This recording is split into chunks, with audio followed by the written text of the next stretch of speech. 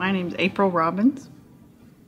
I don't don't know what else to say. I'm a wife and mother of two boys.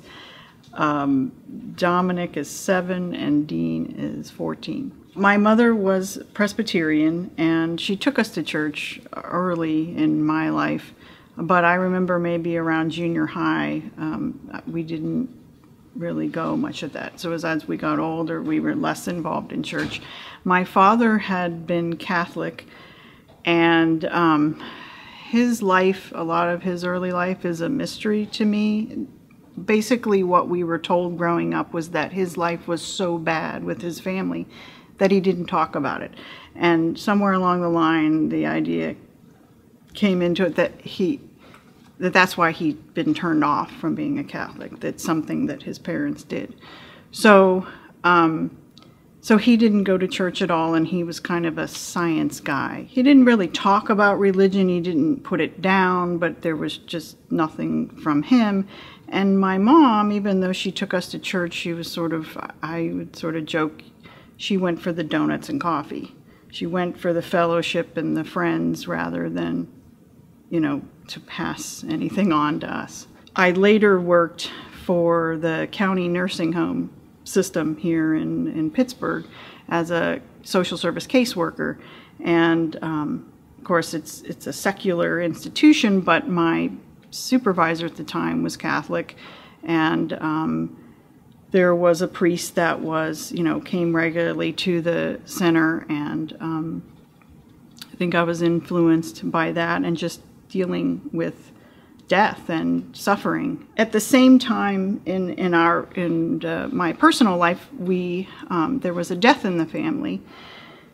And um, it was a, um, a step relative who had um, died fairly young. I think he was about 36 and he had two small children and a wife. And uh, so, and on top of that, um, I was looking at um, my 10 year high school reunion was being planned and I had reconnected with some people that I knew from high school.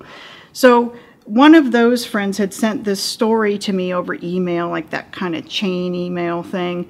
And it was a story um, and the message was that you have to get your priorities in, in place. It was like a professor and students, and he was putting rocks in a container, and I can't remember. But she sent me that, and then within like days of that, we go to this funeral, and bi now Bishop Zubik was the priest that did that mass um, because he knew the family. And he told that story, the exact same wording in the homily. And I was like, oh, well, like twice in the same week. Um, maybe, you know, and at the time, again, I had sort of been thinking about maybe I should be religious, maybe I should be Catholic for a while, and had a lot of sort of examples um, in work and in personal life to follow. But it was that where it was like, okay, you should get the story, you know, the big rocks in first, um, you know, before everything, little things in life fill up. And so I went and very soon after that um, started RCIA at the parish that we lived closest to and um, came into church there or came into the Catholic Church there.